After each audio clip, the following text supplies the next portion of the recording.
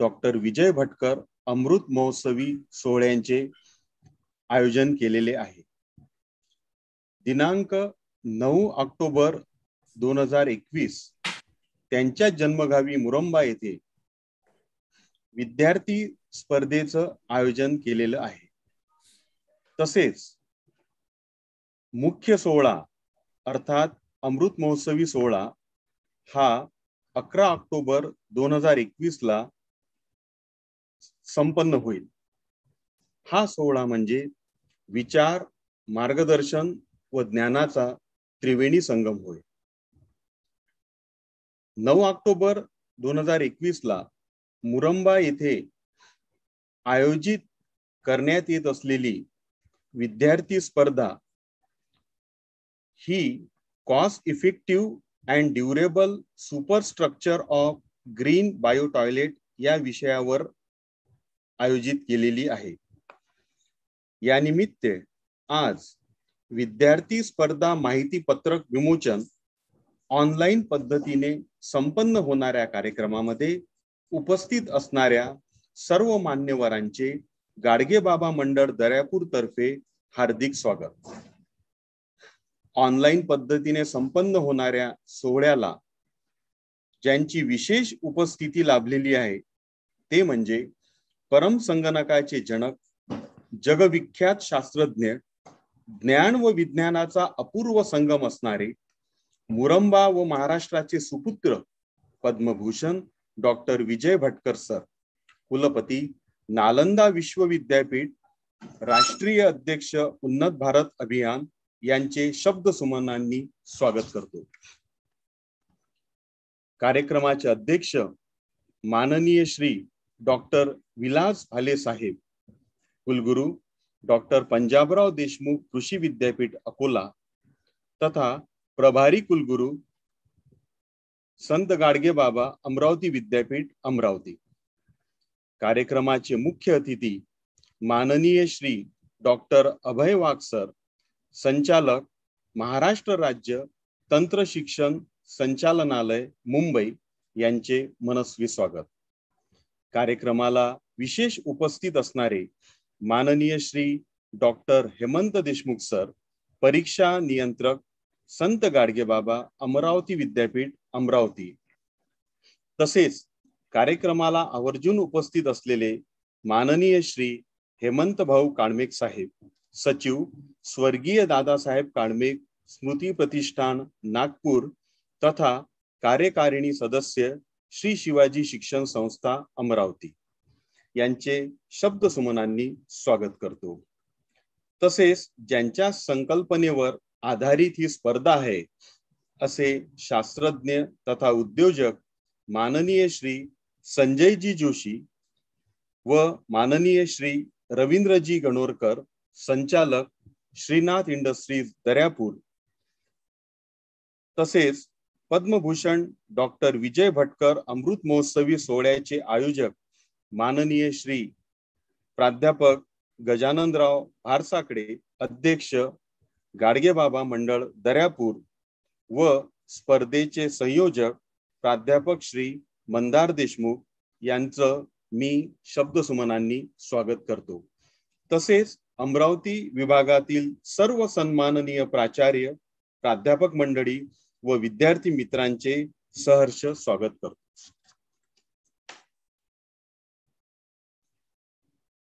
यानंतर आपल्या मुख्य कार्यक्रमाला आपण सुरुवात करूया. सर्वप्रथम मान्यवरांचे मनोगत यामध्ये प्राध्यापक मंदार देशमुख संयोजक स्पर्धेचे संयोजक यांना मी विनंती करतो की त्यांनी स्पर्धेविषयी थोडक्यात माहिती द्यावी.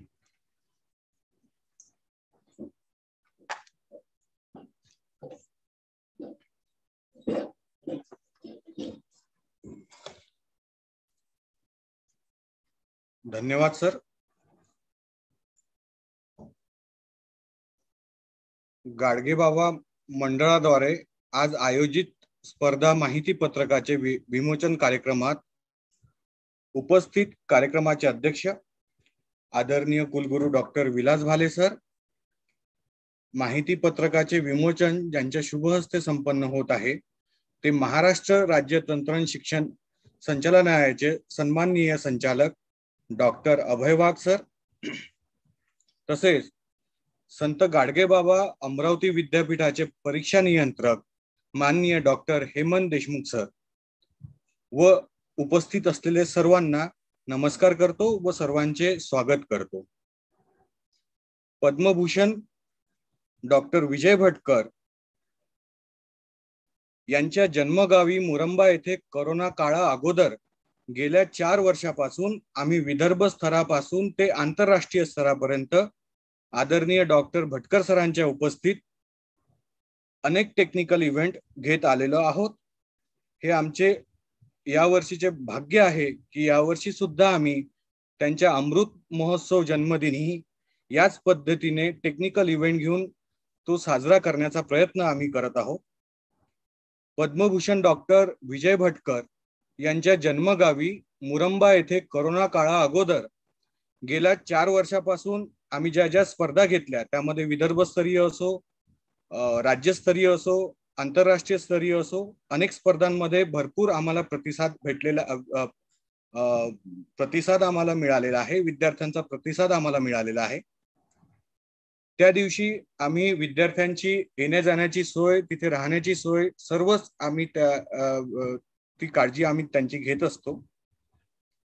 या वर्षीची ही अभियांत्रिकी स्पर्धा संशो आमच्या एका इव्हेंट मधल्या संशोधनावर सुलभ स्वच्छ व टिकाऊ सुपरस्ट्रक्चर निर्मितीची असल्याने ती फक्त सिव्हिल इंजिनिअरिंग मेकॅनिकल इंजिनिअरिंग व आर्किटेक्चर या अभियांत्रिकी विषयाशी संबंधित आहे. स्पर्धेमध्ये भाग घेणाऱ्या स्पर्धकांची संपूर्ण दिनचर्येची व्यवस्था जास्तीत जास्त चांगली करण्यासाठी आम्ही नेहमी वचनबद्ध राहिलेलो आहोत. स्वतः डॉक्टर भटकर स्पर्धकांशी हितगुज करून या स्पर्धा कलाकृती व संशोधनाला भेट देऊन संवाद संवाद जेव्हा साधतात हा क्षण स्पर्धकांच्या जीवनातील अति आनंदाचा क्षण ठरतो. विश्व विद्यापीठाचा कुलपती जगवि जगविख्यात कीर्तीप्राप्त शास्त्रज्ञ जेव्हा ग्रामीण भागातील वातावरणाशी समरस होतो तेव्हा सर्वांचे हृदय भरून येतात.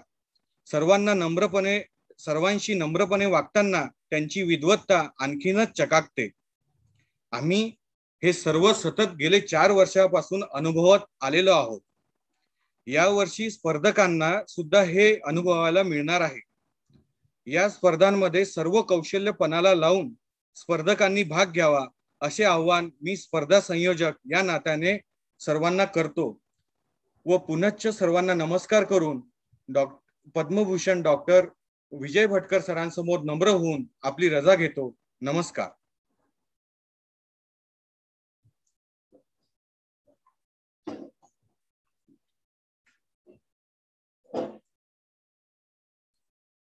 धन्यवाद सर.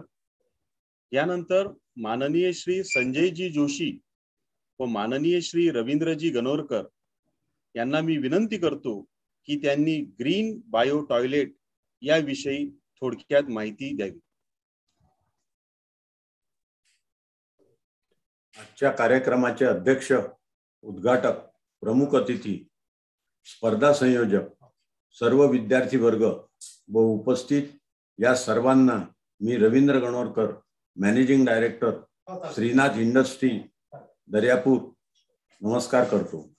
गाडगे बाबा यांच्या स्वच्छतेचा मंत्र सर्व परिचित आहे. आम्ही निर्माण केलेले ग्रीन बायो टॉयलेट हे संशोधन अत्यंत साधे सोपे व कमी जागेत विशेष सुविधा पुरवणारे असल्याने याबाबत जवळपास शासनाने आवश्यक असणारे सर्व प्रमाणपत्र यासाठी आम्हास प्राप्त आहेत. आमचे भाग्य असे आहे की या संशोधनाला पद्मभूषण विजय भटकर साहेब यांचे पाठबळ म्हणा किंवा आशीर्वाद लाभलेले आहेत. त्यामुळे हे संशोधन महाराष्ट्राच्या व जगाच्या उपयोगात यावे यासाठी त्यांनी या संशोधनाचा उर्वरित भाग म्हणजे स्ट्रक्चर यावर विद्यार्थ्यांची स्पर्धा आयोजित केली आहे. हे पूर्ण झाल्यावर सर्वसामान्यांना या अभिनव संशोधनाचा लाभ होऊन सुलभ टिकाऊ व स्वच्छ टॉयलेट उपलब्ध होईल. भटकर सरांच्या अमृत महोत्सव महोत्सवी जन्मदिनानिमित्त ही विद्यार्थी स्पर्धा होत आहे. या स्पर्धेला माहिती पत्रकाचे विमोचन समारंभाचे मी अभिनंदन करून सर्व विद्यार्थ्यांचे स्पर्धकांना सुयश चिंतितो. अभिनंदन आभार व धन्यवाद.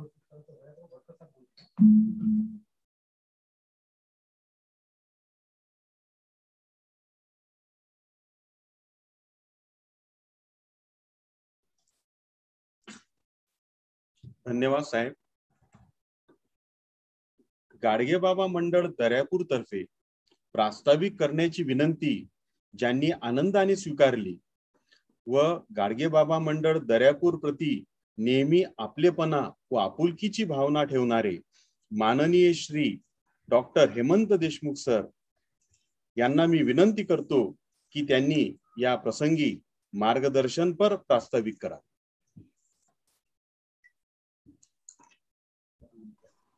नमस्कार. वैराग्यमूर्ती गाडगे बाबा विश्वरत्न डॉक्टर बाबासाहेब आंबेडकर शिक्षण महर्षी डॉक्टर पंजाबराव उपाख्य भाऊसाहेब देशमुख यांच्या पावन स्मृतीचं अभिवादन करतो. आजच्या या कार्यक्रमाला उपस्थित कार्यक्रमाचे अध्यक्ष संत गाडगेबाबा अमरावती विद्यापीठाचे कुलगुरू पंजाबराव देशमुख कृषी विद्यापीठ अकोलाचे कुलगुरू आमचे मार्गदर्शक doctor Vilaji Bhale sir Padmabhushan doctor Vijayraoji Bhatkar साहेब जगविख्यात असे शास्त्रज्ञ की ज्यांच्या तंत्रज्ञानाने भारतासारख्या देशाला सुपर कम्प्युटरमध्ये अग्रगण्य बनवलं आणि भारताची ओळख इन्फॉर्मेशन टेक्नॉलॉजी या क्षेत्रामध्ये अमेरिका आणि जपानच्या आपण मागे नाही त्यांच्यासोबत आहो आणि त्या पंक्तीत नेऊन बसवलं इतकं मोठं महान कार्य ज्यांनी केलं ते या कार्यक्रमाला आज या ठिकाणी उपस्थित आहे. महाराष्ट्र सरकारचे कर्तव्यक्षम धडाडीचे अधिकारी संचालक तंत्रशिक्षणाचे संचालक डॉक्टर अभयजी वाघसाहेब या कार्यक्रमाला उपस्थित शिवाजी शिक्षण संस्थेचे सन्मान्य सदस्य हेमंतजी काळमेक साहेब गणोरकर साहेब जोशी साहेब गाडगेबाबा मंडळ दर्यापूरचे अध्यक्ष प्राध्यापक गजाननजी भारसाकडे या कार्यक्रमाच्या संयोजक मंदारजी देशमुख या कार्यक्रमाला उपस्थित सर्व प्राध्यापक शिक्षकेतर कर्मचारी शिक्षक विद्यार्थी आणि मित्र हो. आज आपण या ठिकाणी तंत्रज्ञानाच्या क्षेत्रामध्ये ऋषितुल्य ऋषितुल्य असलं असलेलं व्यक्तिमत्व डॉक्टर विजयजी भटकर साहेब थोर शास्त्रज्ञ यांच्या अमृत महोत्सवी वर्षाचे अमृत महोत्सवी जन्मदि जन्मदिवसाचे औचित्य साधून ग्रीन बायो टॉयलेट या विषयामध्ये पोस्टर कॉम्पिटिशनच्या विमोचन समारंभासाठी या ठिकाणी आपण आयोजित आहोत.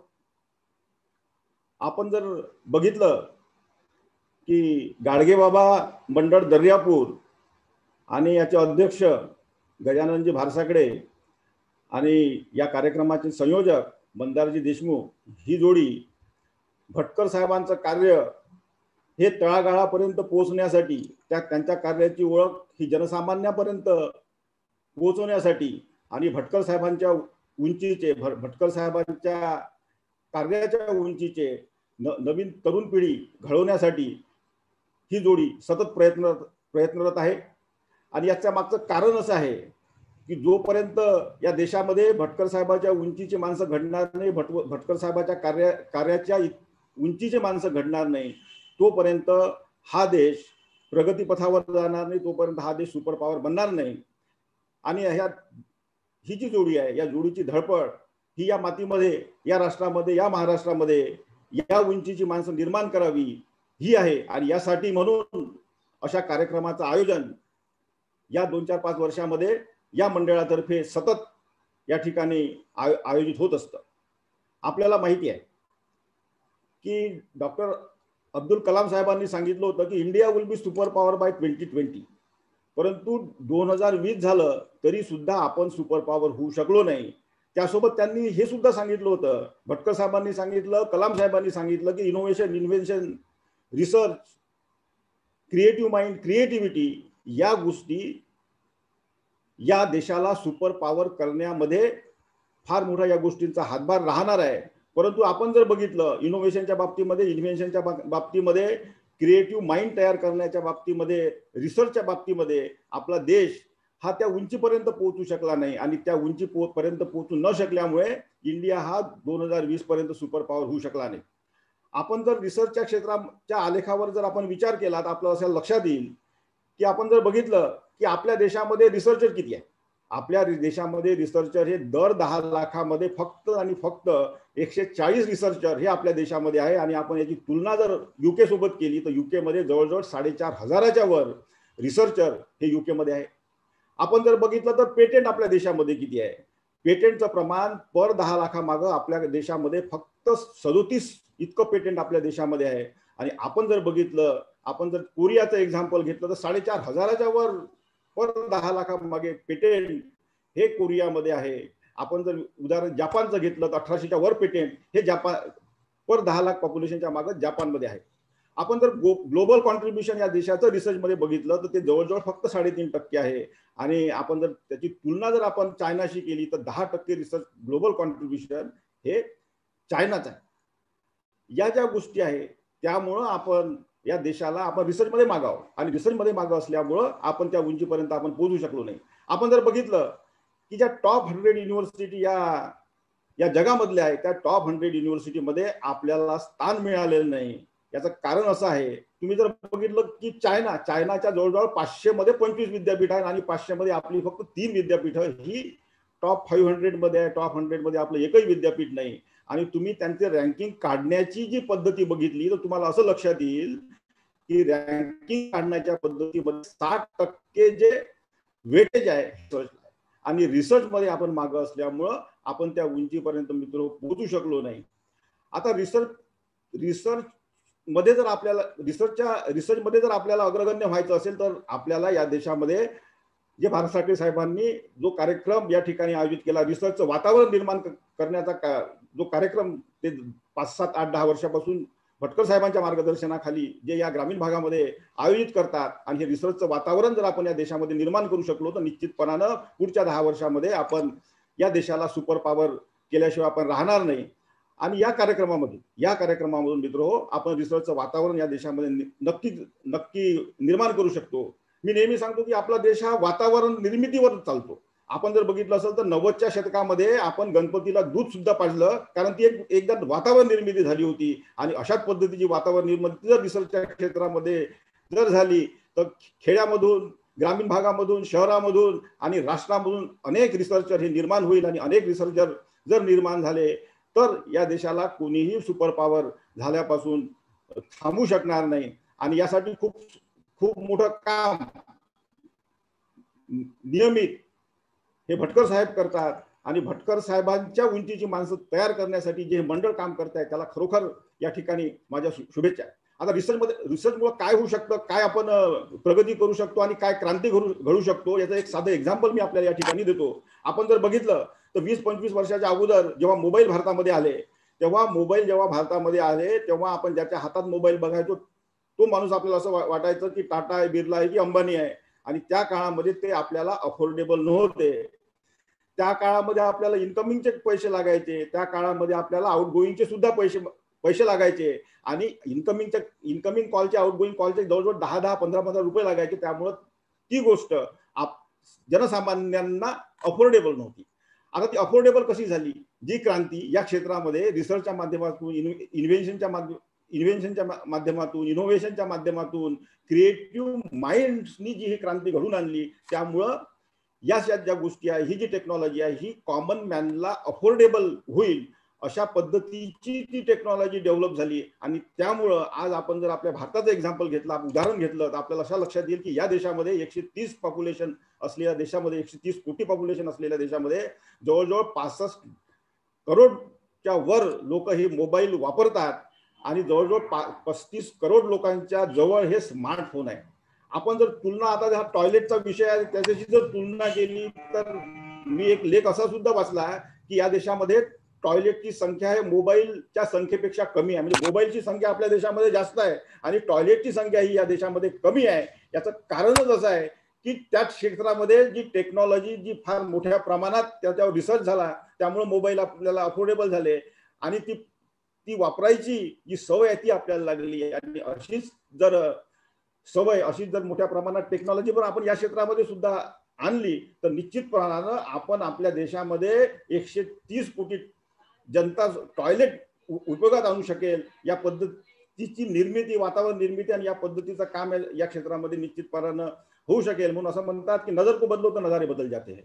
नजर को बदलो तो नजारे बदल जाते हैं. सोच को बदलो तो सितारे बदल जाते हैं. कश्तियां बदलने की जरूरत नहीं. है अगर दिशा को बदलो तो किनारे अपने आप बदल मिल जाते हैं. किनारे अपने आप मिल जाते हैं. तर खरोखर या कार्यक्रमातून या मंडळाच्या माध्यमातून आणि भटकर साहेबांच्या मार्गदर्शनाखाली निश्चितपणानं जर आपण नवी दिशा या क्षेत्रामध्ये दिली या रिसर्चमध्ये दिली तर निश्चितपणानं हा देश सुपर पॉवर झाल्याशिवाय राहणार नाही.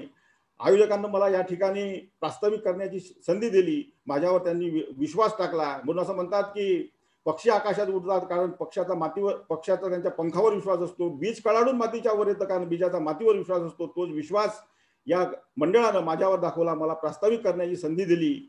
याबद्दल मी या मंडळाचे आभार व्यक्त करतो आणि सगळ्या विद्यार्थ्यांना या या ठिकाणी मी विनंती करतो की अशा या कार्यक्रमामध्ये अशा या कॉम्पिटिशनमध्ये आपण मोठ्या प्रमाणात भाग घेऊन एक चांगलं रिसर्च हे आपण द्यावं. आणि या रिसर्चच्या माध्यमातून एक नवराष्ट्र निर्मितीसाठी आपली एक सुरुवात होईल. इतकं मोठं कॉन्ट्रीब्युशन जर आपण दिलं तर निश्चितपणानं जेव्हा आपल्याला स्वातंत्र्य लढ्यामध्ये आपल्याला कॉन्ट्रीब्युट करता आलं नाही पण हा सुद्धा एक लढा या देशाला आपल्याला प्रगतीपथ पथावर नेण्यासाठी या या देशाला आपल्याला सुपर पॉवर बनवण्यासाठी जो जो जो हा लढा आहे या लढ्यामध्ये जर आपण रिसर्चच्या माध्यमातून सहभाग दिला तर निश्चितपणानं आपला देश सुपर पॉवर बनल्याशिवाय राहणार नाही.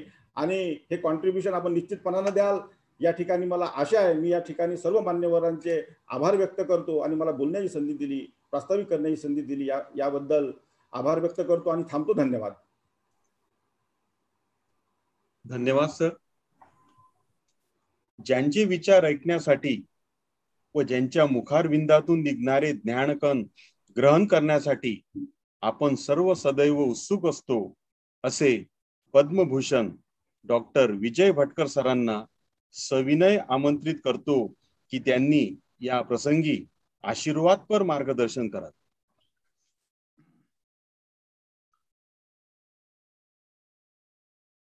सर्वांना नमस्कार. आज एक आपण नवीन इनोव्हेशनसाठी नवीन आविष्कारांसाठी आपण दरवर्षीच एक एक प्रकारची स्पर्धा आयोजित करवायला करत आलो आहे. आणि माझा विचार होता की हे जे नवीन आविष्कार व्हायला पाहिजेत ते आपल्या आपल्या देशामध्ये जवळजवळ सात लाख ग्रामीण गावं आहेत. आणि हे इनोव्हेशन्स हे नवीन आविष्कार शाळा शाळेमध्ये झाले पाहिजेत.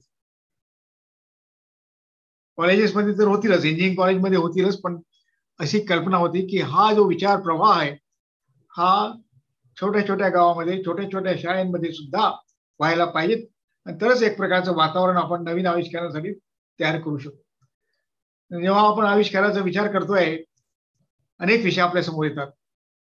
प्रत्येक कॉलेजमध्ये आता इनोव्हेशन्स नवीन नवीन आविष्कार नवीन नवीन कल्पना याविषयी स्पर्धा घेतल्या जात आहेत. तर त्या स्पर्धा कोणत्या क्षेत्रात व्हायला पाहिजे कारण की विषय तर खूपच आहेत. आपल्या देशामध्ये एक मोठा जो विषय माझ्यासमोर आला होता जेव्हा आपण या स्पर्धेचं आयोजन करत करत होतो त्यावेळेस सर्वात महत्त्वाचा विषय की स्वच्छ भारत. आपल्या पंतप्रधानांनी हा विषय मोठा हे गांधीजींनीच तो ज्या समोर आणला होता.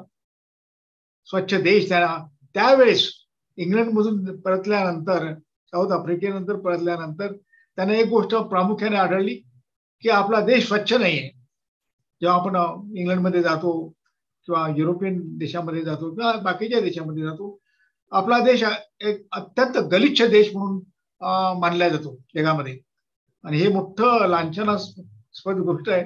मलाही फारच लांछनास्पद गोष्ट वाटली की हा जी संस्कृती सर्वात स्वच्छ संस्कृती मानल्या गेली एका दृष्टी स्वच्छतेला जिथं सर्वात अत्यंत महत्त्व दिल्या गेलं प्रत्येक गोष्टी मध्ये ती जगामधली स्वतः जगातली सर्वात आता अस्वच्छ घाणेडी अशी या प्रकारचं हे करतोय. तर म्हणून मी ठरवलं की हा पुन्हा पण आपण हा विषय घेऊ. पुन्हा पुरश्च हा विषय घेऊ की आपल्या टॉयलेट्स आपल्या टॉयलेट स्वच्छ स्वच्छतागृह इतके घाणेडे का असतात? आपली तुलना आपण बांगलादेशची करतो पाकिस्तानची करतो याच्यामध्ये. आणि एक अत्यंत अस्वच्छ देश म्हणून आपल्याला मानला जगामध्ये. ते खरोखर लांछनास्पद आहे. एकाकडे पाहतो मी की आय टीच्या क्षेत्रामध्ये इतकं पुढे गेलो. आय टीच्या क्षेत्रामध्ये नवीन नवीन आपण आयाम जगासमोर आणले. हे चित्र आपण पाहतो. दुसऱ्या क्षेत्रामध्ये आपल्या टॉयलेट सुद्धा नाही आहेत. चांगले टॉयलेट सुद्धा आपण बघू शकलो नाही. म्हणून मी म्हटलं की आपण म्हणजे मला वाटलं आणि हा विषय पंतप्रधानांनी सुद्धा मोठ्या प्रभावीपणे मांडला आणि स्वच्छ भारत अभियान सुरू झालं. पण त्यामध्ये आपले जे टॉयलेट्स आहेत आपल्या घरचे टॉयलेट्स असो की शाळेमधले टॉयलेट असो मुलींचे टॉयलेट असो म्हणजे आपल्याला स्वतःची खूप लाज वाटेल जगासमोर. इतके इतके घाणेरडे आपले टॉयलेट्स असतात. टॉयलेट नसतातच.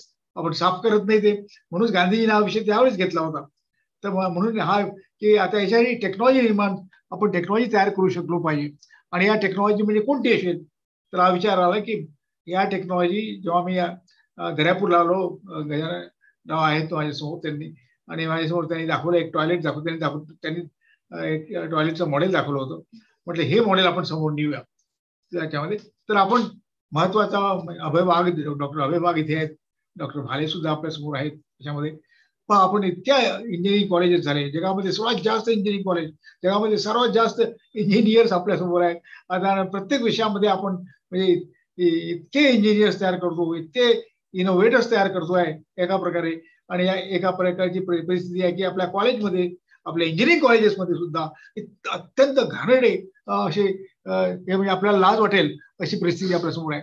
म्हणून हा विषय मी प्रपोज केला होता गजानन रावांना की cost effective durable superstructure for green bio toilets आता ग्रीन बायो टॉयलेटची कल्पना आली रेल्वेजमध्ये आणली आपण याच्यामध्ये डिफेन्समध्ये आणली डिफेन्समध्ये ती डेव्हलप करण्यात आली होती. तरीही पण ही पॉप्युलर या तऱ्हेने पॉप्युलर व्हायला पाहिजे टॉयलेट्स किंवा असं. तशी टॉयलेट्स तयार झाले पाहिजेत. आणि ते कसे त्याचं स्ट्रक्चर कसं असलं पाहिजे? त्याचं डिझाईन कसं असलं पाहिजे? आणि ते घराघरात तयार व्हावे. तुम्ही पाहिलं ते एक टॉयलेट नावाची फिल्म तयार झाली होती. त्यांची अत्यंत प्रभावित ती फिल्म होती त्याच्यामध्ये आणि ही अशीच परिस्थिती आज आहे. तर हा विषय समोर मांडलेला आहे. Cost effective durable superstructure for green biotoilets म्हणजे का? हा प्रश्न मांडला तरी हा याच्यावर विचार होत पण असे टॉयलेट्स तयार व्हावे. कॉलेजेसमध्ये शाळेमध्ये असे टॉयलेट्स व्हावे आणि त्याचा प्रचार प्रसार व्हावा ही माझी इच्छा आहे. याच्यातून तर अनेक डिझाईन समोर येतील ते आपण पाहू आणि ते आपल्या घरामध्ये कसे तयार करता येतील. आश्रमामध्ये जातो अनेक आश्रमामध्ये. तर माझे जे ज्या गुरु आहेत माता अमृतानंदमाई त्यांनी हा प्रश्न विचारला की मुलींनी टॉयलेट बांधले पाहिजे. मग ते मुली वापरतील. मुलींनी स्वतःच्या घरात हे टॉयलेट मुलींनी बांधले पाहिजेत. त्यांना आपण सर्व सामुग्री देऊ आणि त्याने तिथे बांधले पाहिजे आणि त्याचा उपयोग झाला पाहिजे. आणि त्याचं काही अनेक आश्रमामध्ये ही गोष्ट राबवण्यात आली असं मला दिसते तर आपण मला खूप आनंद होत आहे की हा विषय समोर घेतलाय आणि ह्यातून चांगल्या टॉयलेट्स तयार होतील चांगले आपण इनोव्हेशन तर करतो आहेत आपण रॉकेट बनवतो आहेत आणि ॲटॉमिक रिॲक्टर्स बनवतो आहेत पण तुम्ही आपण टॉयलेट बनवू शकतो की हा मोठा प्रश्न आहे. पण विरोधाभास आहे आपल्या देशामध्ये तर त्यामध्ये आपण प्रयत्न करूया. मला त्या एका प्रोजेक्टला जायचं आहे एका मिटिंगला जायचं आहे तुम्ही आधी आपली रजा घ्यावी लागेल मला. पण ह्यातूनच मला वाटते जिथे म्हणजे आता डॉक्टर अभय वाघ असल्यामुळे आपले इतके कॉलेजेस आहेत इंजिनिअरिंग कॉलेजमध्ये सुद्धा. म्हणजे आपण ठरवलंच पाहिजे की सर्वात जास्त इनोव्हेशन टॉयलेट्समध्ये होतील. चांगले होतील आणि स्वच्छतेचं वातावरण होईल. ऍग्रिकल्चर कॉलेजमध्ये इथे तिथे विदर्भामध्ये एक महत्त्वाचा विषय म्हणजे टॉयलेट्स चांगले टॉयलेट्स असावेत असं वाटतं. तर आपण आपणच हा विषय मांडला होता. तर आपण याच्यामध्ये विचार व्यक्त कर. नुसते विचारच नाही. ते करून दाखवायला पाहिजे. प्रत्येक गोष्ट. माझ्या घरी मला मला मला करता आलं पाहिजे. मला स्वतःला करता आलं पाहिजे माझी टॉयलेट्स माझ्या याच्यामध्ये. आज अत्यंत लज्जास्पद गोष्ट आहे की आपण आपले जे महाविद्यालयामध्ये आपल्या युनिव्हर्सिटीमध्ये अत्यंत घाणेरडी परिस्थिती आहे. आपली लाज वाटते आपली त्यामध्ये की असं कसं? इकडे इंजिनियर इकडे आय टी एखादं सॉफ्टवेअर एखादं टॉयलेट बांधू शकत नाही आणि त्याचा उपयोग करू शकत नाही. सर्वात महत्त्व बांधले तर उपयोग करू शकत नाही. इतके घाणेरडे आपले टॉयलेट्स आहेत. म्हणून हा विषय म्हणजे आपण प्रकर्षाने घेतला पाहिजे आणि यातून सोल्युशन काढून कमीत कमी माझ्या कॉलेजमध्ये किंवा माझ्या शाळेमध्ये चांगले टॉयलेट असतील असं आपण प्रयत्न करूया. नमस्कार. नमस्कार. धन्यवाद सर ज्या क्षणाची आपण उत्कंठेनं वाट पाहत आहात तो क्षण आता समीप आलेला आहे. मी कार्यक्रमाचे मुख्य अतिथी माननीय श्री डॉक्टर अभय वाघ सरांना नम्र विनंती करतो की त्यांनी विद्यार्थी स्पर्धा माहिती पत्रकाचे विमोचन करावेत व तदनंतर आम्हाला मार्गदर्शन करावे नमस्कार. आजच्या कार्यक्रमाला उपस्थित असलेले माझे व्यक्तिगत स्वरूपात मार्गदर्शक असलेले डॉक्टर विजयजी भाटकर पद्मभूषण पद्मश्री अशी उत्तुंग अशी व्यक्तिमत्व असलेले आज या कार्यक्रमाला आपल्याला लाभलेले आहेत. आजच्या कार्यक्रमाचे अध्यक्ष डॉक्टर भाले कुलगुरू आमच्या अमरावती विद्यापीठाचे सुद्धा ते सध्या कुलगुरू आहेत. त्यानंतर या कार्यक्रमाला उपस्थित असलेले कंट्रोल ऑफ एक्झामिनेशन त्या विद्यापीठाचे श्री देशमुखजी आमच्या या कार्यक्रमासाठी सातत्यानं मेहनत घेत असलेले आणि मला वारंवार या संदर्भात माझा आपण म्हणूया पाठपुरावा करत असलेले श्री गजानन भारसाखळे मंडळाचे सर्व इतर त्यांचे सहकारी तसेच आजचे जे विषय आहे. त्याच्याशी निगडीत ज्यांनी दर्यापूरचे जोशी आणि गणोरकर ज्यांनी मोठं संशोधन या विभागात केलेलं आहे या या प्रश्नावर त्यांनी त्याची वाचा फोडलेली आहे. असे दोघ संशोधक तसंच माझ्याबरोबर जॉईन झालेले या आभासी पद्धतीने ऑनलाईन पद्धतीने असलेले सर्व प्राध्यापक आणि अर्थातच या मंडळाचे इतर सहकारी जे आभासी पद्धतीने जोडले गेलेले असतील आणि इतर विद्यार्थी वृंद जो या स्पर्धेमध्ये उद्या आजपासून कामाला लागणार आहे आणि त्यांच्या स्पर्धेचं आज या माहिती पत्रिकेचं विमोचन करण्याचं जे उद्घाटन करण्याचं जे मला आज खरं तर भाग्य मिळालेलं आहे. त्या संदर्भात मी सर्वप्रथम मंडळाचा ऋणी आहे. कारण विजय भाटकर सरांच्या संदर्भात मला आजची एक स्पर्धा जी आयोजित केली आहे त्या बाबतीत एक विषय मांडायचा होता की खरं तर आजची जी स्पर्धा आहे आणि त्याचा जो विषय आहे या सुरुवात करण्यापूर्वी मी संत गाडगे बाबा यांच्या पावन स्मृतीला सर्वप्रथम विनम्र असं माझं अभिवादन करतो. विनम्र असं माझं अभिवादन करून मी या माझ्या संभाषणाला मित्र सुरुवात करतो. खर तर आपण बघितलं की आजची जी स्पर्धा आहे आता जे बाटकर सर पण जे म्हटले विजय बाटकर साहेब त्याच्यात तुम्हाला जाणवलं असेल की एका इनोव्हेशननी आपण कसं पुढे जाऊ शकतो? आणि त्या इनोव्हेशनला पुढे घेऊन आजची जी स्पर्धा ठेवली ती खऱ्या अर्थानं मला वाटते समाज हिताची अशी स्पर्धा आहे. इनोव्हेशन खूप होतात. पेटेंट्स निघाले तरी ते पेपरवर राहतात. पण अशा पेटेंट्सला आम्ही आमच्या भाषेमध्ये रिसर्चच्या भाषेमध्ये पिकलिंग ऑफ पेटंट्स म्हणत असतो. असं पेटेंट जे खरंच समाज हितासाठी कार्यरत असेल समाज हितासाठी उपयोगी ठरेल अशा पेटंटला आणि अशा जर संशोधनाला जर आपण घेऊन पुढे जात असू अशी स्पर्धा आणि औचित्य कुठलं तर आदरणीय विजय भाटकर साहेबांचं पंच्याहत्तरावं वर्ष आपण ज्याला अमृत महोत्सव असं म्हणतो त्यांच्या जन्मदिनाचं ते अतिशय म्हणजे मला म्हणजे औचित्यपूर्ण वाचलं आणि म्हणून मी मंडळाचं सुद्धा खरं तर या निमित्ताने अभिनंदन करतो की त्यांनी it is one line I can say that it is invention over innovation अशा पद्धतीने ही आजच्या स्पर्धेचं अशी एक रचना त्यांनी केलेली आहे. आणि जेणेकरून या कार्यक्रमाला सरांच्या सेव्हन्टी फाईव्ह आपण जे म्हणूया त्यांच्या जन्मदिनाच्या निमित्ताने जो अमृत महोत्सव आपण साजरा करतो आहोत त्याला खऱ्या अर्थानं हे औचित्य अतिशय चांगलं लाभलेलं आहे असं माझं वैयक्तिकरित्या मत आहे. बाटकर सरांच्या बाबतीत मला बोलायचं झालं. तर माझा त्यांचा पर्सनल आणि व्यक्तिगतरित्या सुद्धा बराचसा संबंध आला या प्रशासकीय जीवनामध्ये. खर तर बाटकर सरांबद्दल आपण जेवढं बोलू तेवढं कमी आहे पण काही गोष्टी मला नक्कीच इथं मांडता येतील. की अतिशय मोस्ट एक्लेम्ड आपण ज्याला असं म्हणतो आणि इंटरनॅशनली एक्नॉलेज असं एक जागविख्यात असे एक सायंटिस्ट म्हणून त्यांनी त्यांची ओळख सुरू केली. आता सध्या ते नालंदा विद्यापीठाचे सुद्धा चान्सलर आहेत.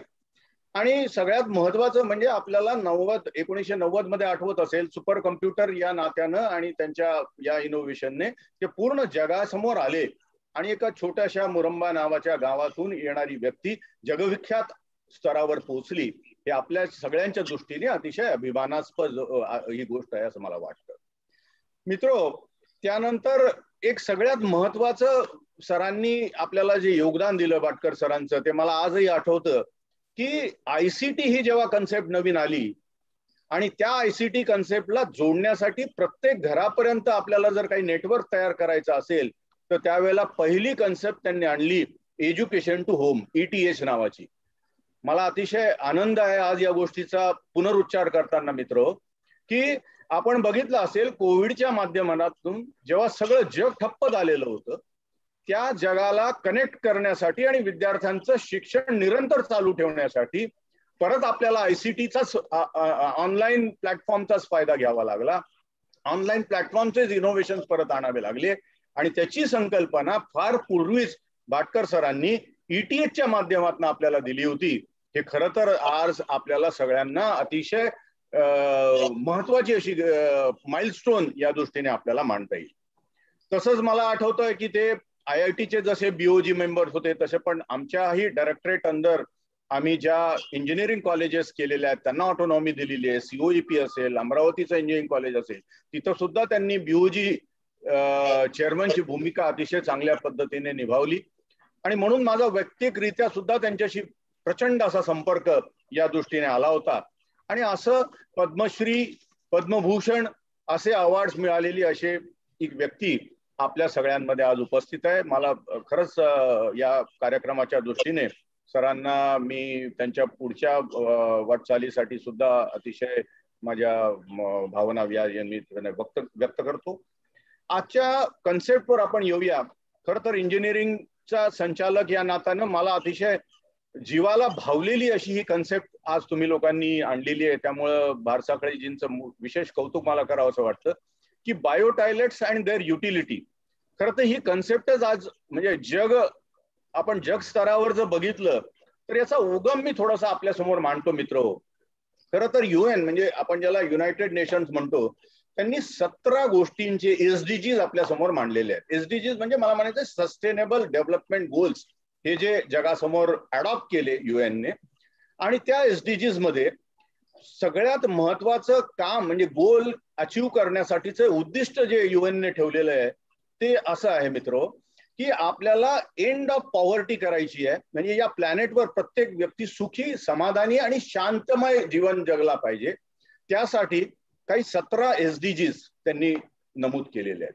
आणि त्यामध्ये तुम्हाला आठवत असेल की त्याच्यासाठी पॉवर्टी नको no hunger should be there clean and I mean safe drinking water should be available then sanitation is also one of the issue quality education हा एक इश्यू आहे त्याच्यामध्ये. क्लायमेट चेंज हा मोठा इश्यू आहे. असे बरेचसे एसडीजीज त्याच्यामध्ये सतरा एसडीजीज युएनने अडॉप्ट केलेले आहेत. त्याच्यातला मित्र हो हा सहा नंबरचा जो एसडीजी आहे तो खर तर आपल्या या आजच्या स्पर्धेशी जुळतोय आणि म्हणून मी याचं नमूद स्पेशली करू इच्छितो की तो सहा नंबरचा जो एसडीजी आहे तो आहे ensuring availability and sustainability management of the water and sanitation for all every citizen on this planet असा तो अतिशय समर्पक असा जो एसडीजी आहे सस्टेनेबल डेव्हलपमेंट गोल त्याला मॅच करणारी स्पर्धा आहे म्हणून मला जास्त आनंद खर तर या स्पर्धेच्या निमित्ताने मित्र झालेला आहे. दुसरं असंही मला इथं नमूद करता येईल की हे करण्यासाठी आपल्याला एन्शुअर करायचं आहे की availability and sustainability management of the water and sanitation to all water and sanitation हे दोन्ही शब्द इथं मित्र फार महत्त्वाचे आहेत कारण ते इंटरलिंक्ड आहेत या बायो टॉयलेटशी रिलेटेड आणि म्हणून अतिशय समर्पक असा गोल मला वाटतो.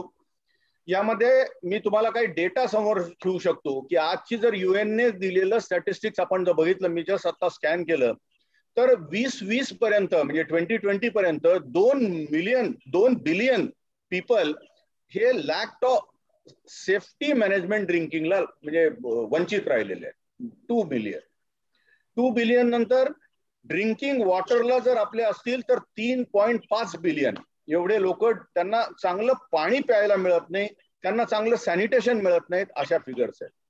टू पॉईंट थ्री बिलियन असे लोक आहेत की ज्यांना बेस्ट हायजीन मिळत नाही.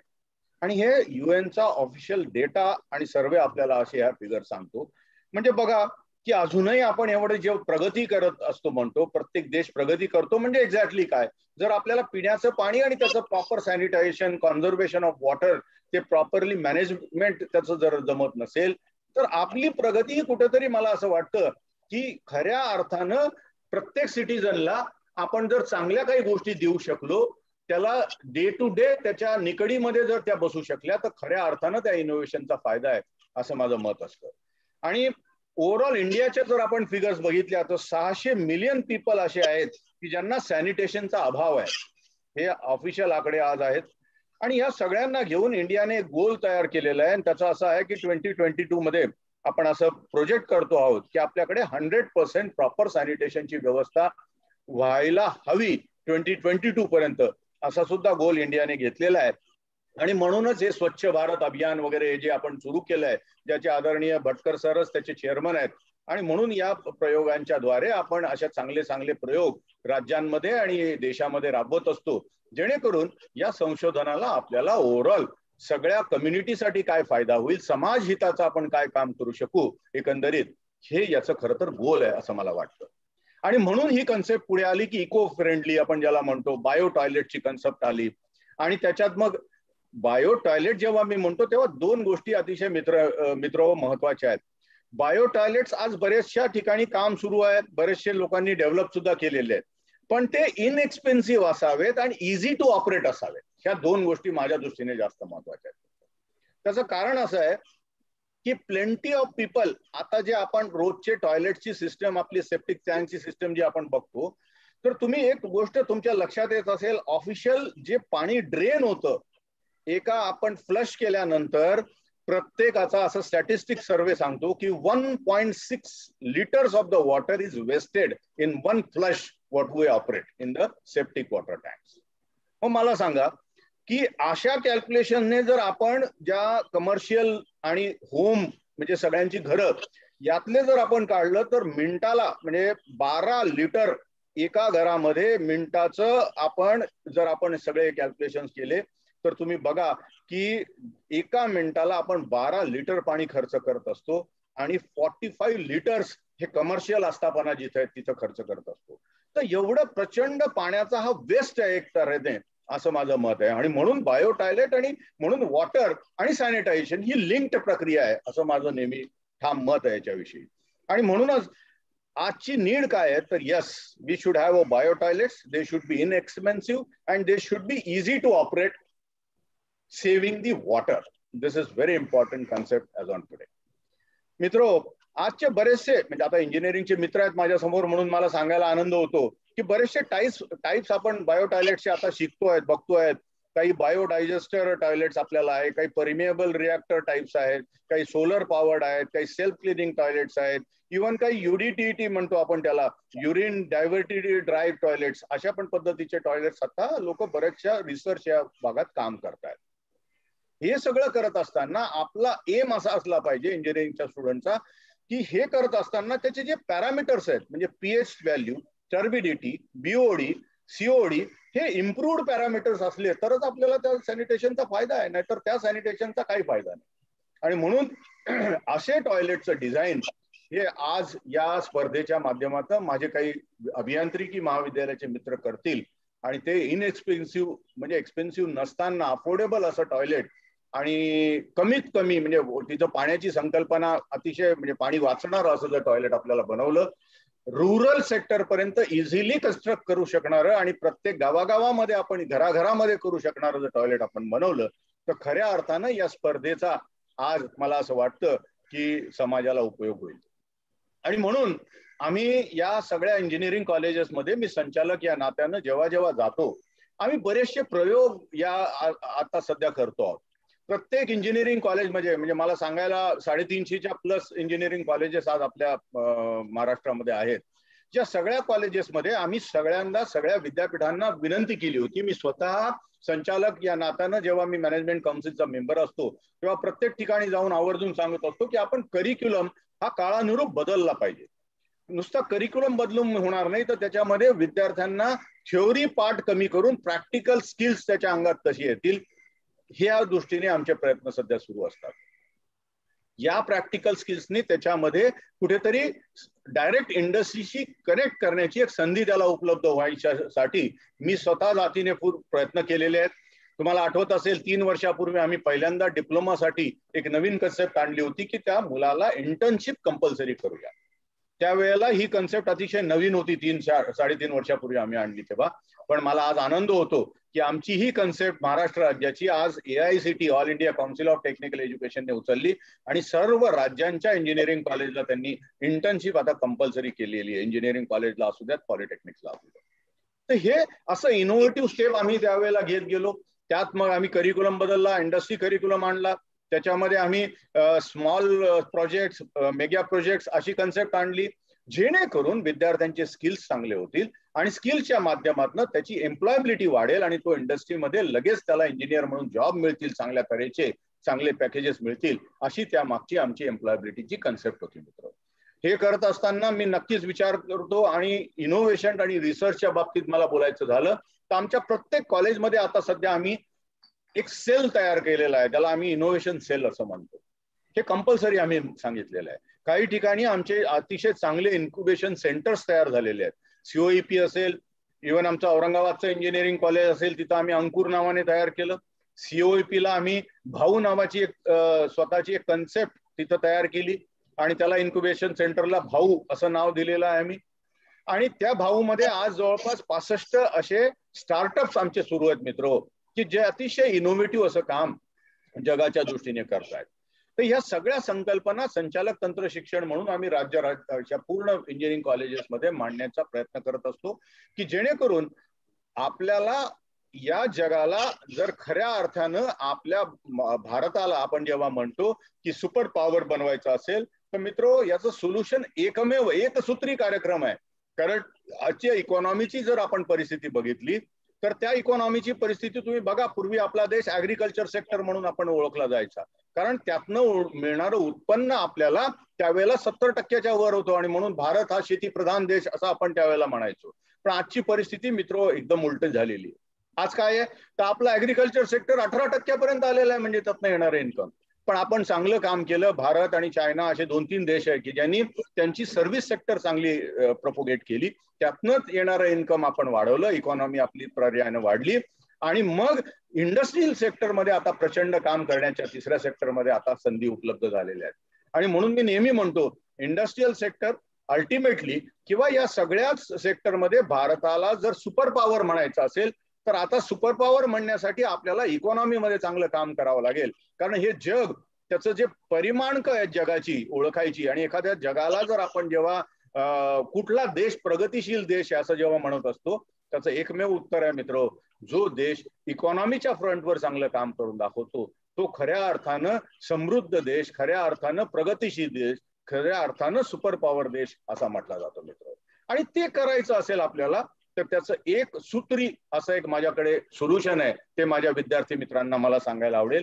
त्याचं एकमेव सोल्युशन आहे मित्र टेक्नॉलॉजी कारण आज तुम्ही बघा सगळ्या इंडस्ट्रीजमध्ये आपलं जे आपण एक्सपोर्ट करतो आणि आपण ज्या गोष्टी इम्पोर्ट करतो तर आपलं इम्पोर्टच जास्त आहे. आता देशमुखांनी जो प्रयोग केला मोबाईलचा पण ही टेक्नॉलॉजी मित्र आज तुम्ही वापरणारे जे काही आपण पासष्ट करोड लोक आज मोबाईल वापरतो त्यांच्या हातात असलेले तुम्ही मोबाईल फोन बघा. इवन माझ्या हातातला फोन बघा. आयफोनपासून असे जेव्हा मोबाईल आपल्या हातात आहेत ते सगळे फोनच्या टेक्नॉलॉजी या इम्पोर्टेड आहेत मित्र. त्याच्याकरता भारतासारख्या देशाला प्रचंड असा रुपीज फॉर्ममध्ये डॉलर्सच्या फॉर्ममध्ये पैसे तिकडे पाठवावे लागतात. तेव्हा ही टेक्नॉलॉजी आपल्याला घ्यावी लागते. पर्यायानं त्याचा इम्पॅक्ट आपल्या इकॉनॉमीवर पडतो. ही एक्झॅक्ट रिव्हर्स प्रोसेस झाली पाहिजे. आपलं स्वतःचं एक्सपोर्ट वाढलं पाहिजे. स्वतःची टेक्नॉलॉजी तयार झाली पाहिजे. आणि म्हणून मी म्हटलं की या इंडस्ट्रीयल बेल्टला आपल्याला जर स्ट्रॉंग करायचं असेल मित्र तर खऱ्या अर्थानं आपलं टेक्नॉलॉजीवर काम केलं पाहिजे. आणि या टेक्नॉलॉजीसाठी मग आता आम्ही प्रत्येक कॉलेज कॉलेजमध्ये प्रत्येक पॉलिटेक्निक्समध्ये हे प्रयोग राबवायला सुरुवात केलेले आहेत.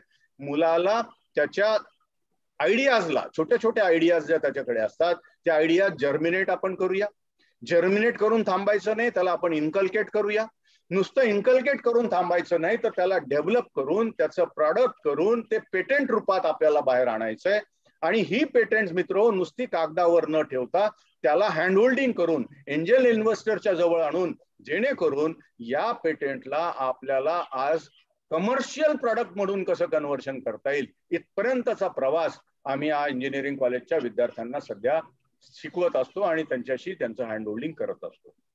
मला खरंच या निमित्तानं परत एकदा सर्व आयोजकांचे खर तर या निमित्ताने आभार मानायचे आहेत की मला आठवतं की आता हे जे जोशी साहेब आहेत गणोरकर आहेत अतिशय छोट्याशा दर्यापूर भागातली लोक पण ते सुद्धा या भागात संशोधन करतायत. आणि असे शेकडो लोक हे जे संशोधन करतील तेव्हा ह्या चांगल्या कन्सेप्टकडे आपली रुजली जाईल ही वाटचाल असं खऱ्या अर्थानं मला वाटतं. मला एक साधारण तीन वर्षापूर्वी स्वतः आमचे मित्र आहेत गजाननजी भारसाकळे त्यांनी एकदा अमरावती इंजिनिअरिंग कॉलेजला माझी जेव्हा एक बैठक होती त्यानिमित्तानं आमची भेट झाली होती. तेव्हा तेव्हा दिवसापासून ते माझ्या कंटिन्युअस पाठपुरावा करतायत की व्हॉट्सअप आमच्या या कार्यक्रमाला एकदा आपण यावं.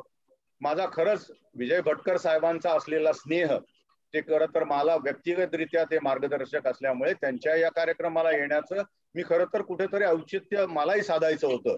पण आता या कोरोनामुळे मागच्या दीड ते दोन वर्षाच्या कालखंडामध्ये आपल्याला कुठेही कम्युनिकेशन करता आलं नाही म्हणजे फिजिकली कम्युनिकेशन करता आलं नाही. म्हणून ऑनलाईन पद्धतीने का होईना यावेळेला मी ठरवलं होतं की आपण यावेळेला या कार्यक्रमाला मी आवर्जून उपस्थित राहीन. आणि म्हणून मी खरं तर या कार्यक्रमाचं अतिशय आगळं वेगळं असं स्वरूप या ज्या गजानन भारसाकळे साहेबांनी आणि या एकंदरीतच या सगळ्या संत गाडगे बाबा मंडळाचं मी खरंच पुनश्च एकदा अभिनंदन करतो त्यांच्या सहकार्यांचं अभिनंदन करतो की त्यांनी अतिशय नॉव्हेल्टी इनोव्हेटिव्ह अशी कल्पना या स्पर्धेच्या निमित्ताने आणली. आणि मला या कार्यक्रमाला त्यांनी खर तर उद्घाटक म्हणून विमोचन करण्यासाठी बोलवलं. मी सर्व सहकाऱ्यांचे त्यांचे स्वतःचे आणि यांचं खर तर ऋणी आहे की अशा समर्पक अशा कार्यक्रमाला मला बोलवलं. असं खरं तर मी एका या माध्यमातून मला म्हणता येईल. पुनश्च एकदा माझ्या सर्व विद्यार्थी मित्रांना मी आवाहन करतो की प्रत्येक व्यक्तीने मी म्हणजे मी स्वतः इंजिनियर आहे मी स्वतः इलेक्ट्रॉनिक्स इंजिनियर आहे एमटेक दिलेलं आहे पीएचडी इलेक्ट्रॉनिक्स इंजिनिअरिंग मधनं केलेली आहे. त्यामुळे माझं असं मत आहे संचालक या नात्यानं आणि या विद्यार्थ्यांचा मित्र या नात्यानं की सगळ्या विद्यार्थ्यांनी एका गोष्टीवर कॉन्सन्ट्रेशन आता केलं पाहिजे की ही जी इंजिनिअरिंगची प्रक्रिया आहे ती केवळ बुकिश प्रक्रिया न ठेवता म्हणजे नॉलेज खऱ्या अर्थानं कसं मिळेल प्रॅक्टिकल कन्सेप्ट समजून तो इंजिनियर बाहेर कसा पडेल या दृष्टीने इंजिनियर्सने स्वतःचे प्रयत्न करणे गरजेचं आहे. आणि म्हणून त्या विद्यार्थ्यांनी प्रामाणिकपणे त्याच्या स्किल्स अंगीभूत कसे करता येतील या दृष्टीने शिक्षकांनी सुद्धा तसे प्रयत्न करणे खर तर अतिशय गरजेचं या काळानुरूप वाटतं मला. आणि म्हणून या स्पर्धेला आज जेवढे विद्यार्थी या नंतरच्या कालखंडामध्ये जोडले जाणार आहेत त्यांना मी माझ्या दृष्टीने खर तर आवाहन करतो की अशा कार्यक्रमांना त्यांनी स्पर्धेत भाग घेतला पाहिजे इनोव्हेटिव्ह असे प्रोग्राम्स करत राहिले पाहिजे एक्सपेरिमेंट्स करत राहिले पाहिजेत तेव्हाच त्यांना खऱ्या पुढच्या अर्थानं इनोव्हेटिव्ह अशी टर्मिनॉलॉजी लावता येईल. त्यांचं या खरं तर या स्पर्धेसाठी मी त्यांनाही best of luck I wish so that they can do wonderfully well in this coming the competition what these people have conducting secondly मला हे पण आज इथं नमूद करायचे की या मंडळाचे खरंच पुनश्च एकदा आभार मानतो मी की या सर्व लोकांनी ऑनलाईन पद्धतीने आपण आज जोडण्याचं जे काही ठरवलं आणि भाटकर साहेबांनी पण या कार्यक्रमाला उपस्थिती दर्शवली. मला पण एका कार्यक्रमाला आज बारा वाजता निघायचं होतं म्हणून मी गजानन रावांना म्हटलं होतं की मला तुम्ही त्या वेळेच्या आज जर आपला कार्यक्रम झाला तर मी नक्की आवर्जून उपस्थित राहीन. आणि म्हणून पुनश्च एकदा सर्व तुमच्या सर्वांचं मी मनापासून अभिनंदन करतो. सरांना आपण चांगल्या विशेष देऊया भटकर सरांना आणि या कार्यक्रमाच्या निमित्तानं. या विद्यार्थ्यांना पण चांगल्या विशेष देऊन मी माझा आजचा आत्ताचं संभाषण संपवतो. धन्यवाद मित्र.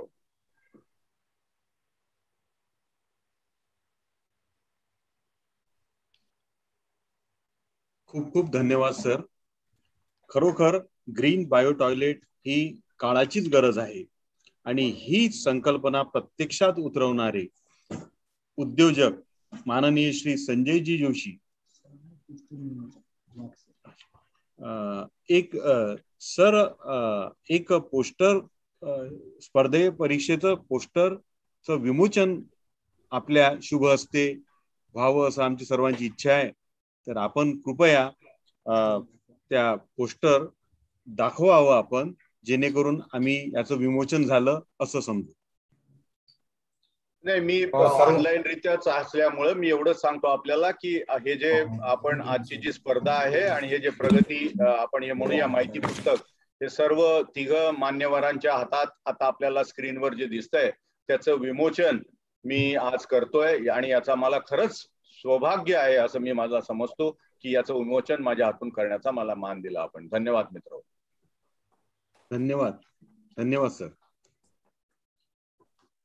यानंतर ही संकल्पना प्रत्यक्षात उतरवणारे माननीय श्री संजयजी जोशी आपले मनोगत या प्रसंगी थोडक्यात व्यक्त करते मी श्रीनाथ इंडस्ट्रीज दर्यापूर या संस्थेचा टेक्निकल डायरेक्टर या नात्याने आपला सर्वांचा आभार मानतो आणि आमचे मित्र गजाननजी जोशी आपल्या भाडसागडेजी यांचे आभार मानतो आणि माझे पार्टनर्स आणि आमच्या संशोधक माननीय रवींद्रजी गणोरकर आणि आज जे सगळे लोक आपण या ठिकाणी आहात या सर्वांचे आभार मानतो.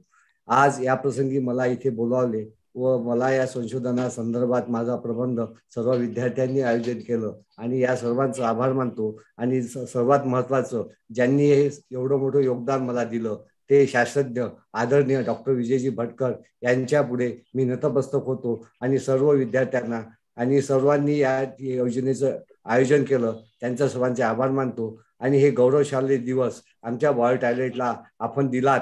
आणि या ठिकाणी ज्या सर्व मान्यवरांनी आमच्या टॅलेटच्या संदर्भामध्ये जगामध्ये प्रसिद्ध केलं त्या सर्वांचे मी आभार मानतो. आणि मनोपूर्वक मंडळाचे देखील आभार मानतो. एवढंच बोलून मी माझं दोन शब्द संपवितो. जय हिंद जय भारत. धन्यवाद साहेब. यानंतर कार्यक्रमाचे अध्यक्ष माननीय श्री डॉक्टर विलास भाले साहेब यांना मी नम्र विनंती करतो की त्यांनी अध्यक्षीय भाषण करावे. नमस्कार मित्रांनो. संत गाडगे बाबा मंडळ दर्यापूर यांनी ही स्पर्धा आयोजित केली आणि त्या स्पर्धेचे विमोचन आज या ठिकाणी आपण करत आहोत. त्यानिमित्त या कार्यक्रमाला उपस्थित असलेले पद्मभूषण आदरणीय विजय भटकरजी साहेब त्याचप्रमाणे आमचे अभय साहेब या ठिकाणी आहात.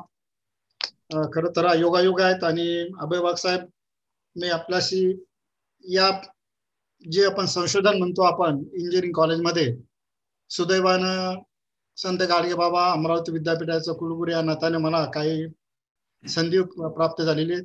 आणि माझे काही संकल्पना या ठिकाणी आहेत बऱ्याच ठिकाणी मी ज्यावेळेस इंजिनिअरिंग कॉलेजला जातो काय आवश्यकता आहेत? टीचिंगमध्ये काय आपल्याला चेंजेस पाहिजेत? काय रिसर्च पाहिजेत? याबद्दल आपण सखोल असं बसूया. आणि कुठेतरी चेंज हा अत्यावश्यक आहे.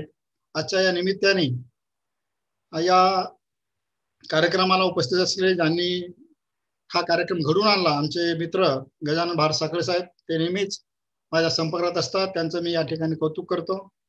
प्राध्यापक मंदार देशमुखजी आमचे हेमंत देशमुख संजय जोशी इतर सर्व मान्यवर जी उपस्थित आहेत त्या सर्वांचं या ठिकाणी मी मनापासून आभार व्यक्त करतो. आणि आजचा हा जो कार्यक्रम आपण या ठिकाणी माहिती पत्रकचं विमोचन करतोय मान्य जे भटकर यांच्या अमृत महोत्सवी अत्यंत असा स्तुत असा कार्यक्रम आपण या ठिकाणी घेतलेला आहे.